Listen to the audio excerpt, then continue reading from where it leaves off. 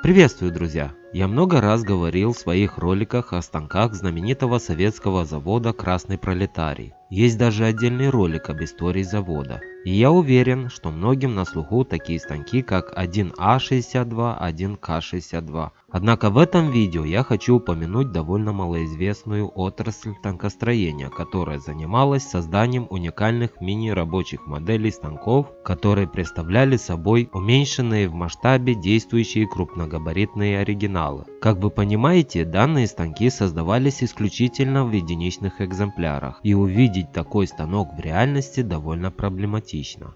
Однако же они существовали. Такие станки создавались в основном к какому-то празднику. Например, данная малютка была приурочена к столетию станкостроительного завода имени Ефремова «Красный пролетарий» и в честь серийного запуска нового токарного станка модели 1А62 умельцами завода в 1957 году.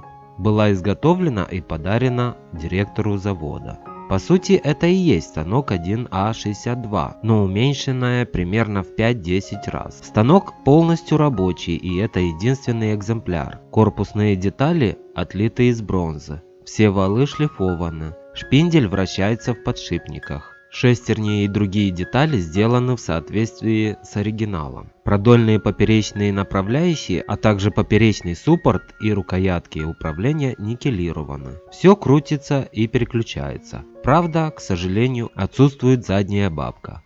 Общая длина станка составляет 650 мм. Длина направляющих 400 мм.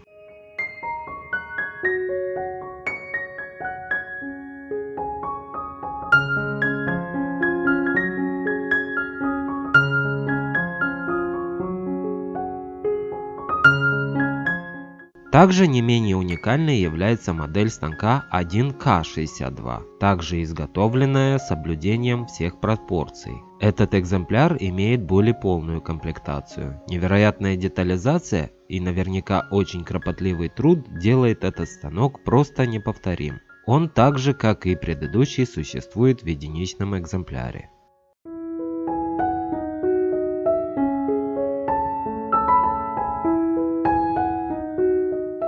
Следующий шедевр инженерного искусства представляет собой модель 1D62M. У данного станка, кроме того, что все крутится и работает исправно, имеется даже фрикцион, что, как вы понимаете, усложняет в разы процесс изготовления. Вполне возможно, что все эти станки были собраны не на самом заводе «Красный пролетарий». Возможно, существовало предприятие, на котором и создавались такие станки, выполняя прямые заказы крупных станкостроительных предприятий. Однако я не нашел о них никаких упоминаний. Да что уж тут говорить, мы знаем немало умельцев, которые, работая на заводе, тайком собирали такие уникальные, очень сложные миниатюрные станки.